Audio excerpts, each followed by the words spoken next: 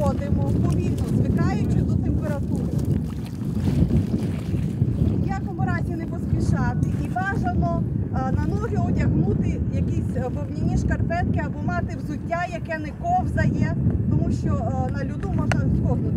Обов'язково ми робимо так, як показує е, фахівець. Саме так повільно та обережно радять рятувальники починати занурювання у холодну воду. Коли тіло вже у воді, радять умити обличчя, груди, живіт водою, і тільки після цього робити занурення. Умиваємо обличчя водою і тихенько, поступово робимо де занурення, е, присідаючи. Виходити із води теж кажуть, потрібно обережно та повільно, і ні в якому разі не радять чи до чи після процедури вживати алкоголь, тільки гарячий чай. Даємо можливість їй обтертися рушником.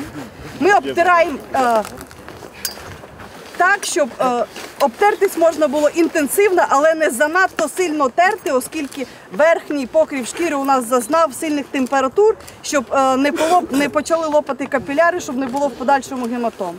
І е, далі починає людина перевдягатися. Ну, знімає мокрий одяг, одягає е, сухий.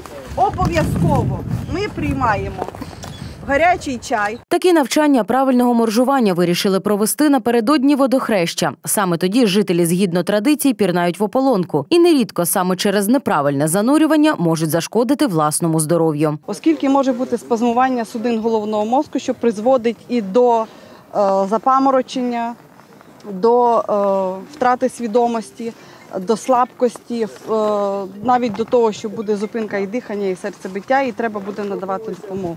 Е, це вживання спиртних напоїв, тобто категорично бажано від цього відмовитися. Є випадки, і майже коли є свята, е, є випадки, коли доводиться допомагати. А от що робити, коли людина тоне?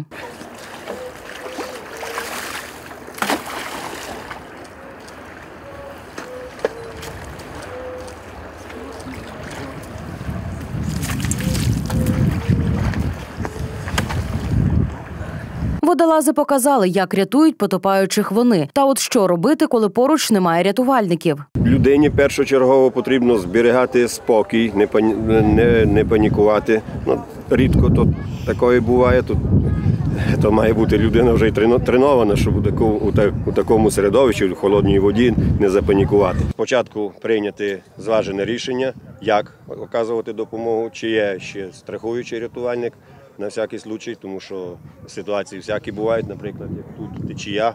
Течія може підльот затягувати не тільки е, потерпаючого, а ще й рятувальника, тому що потім, щоб не було два потерпілих, розумієте? Так що треба до того зважено, зважено, але швидко підходити. Небезпечне перебування у крижаній воді 3-5 секунд. Для людей, які роками практикують загартування водою, не рекомендується перебувати в ополонці довше ніж півтори-дві хвилини. Ні в якому разі не пірнайте в ополонку, якщо у вас серцево-судинні захворювання, запальні процеси. Та й взагалі, щоб не зіпсувати собі свято перед тим, як розпочати загартовуватись, краще порадитись зі своїм сімейним лікарем. Ну а проводити процедури радять тільки у спеціально відведених для цього місцях.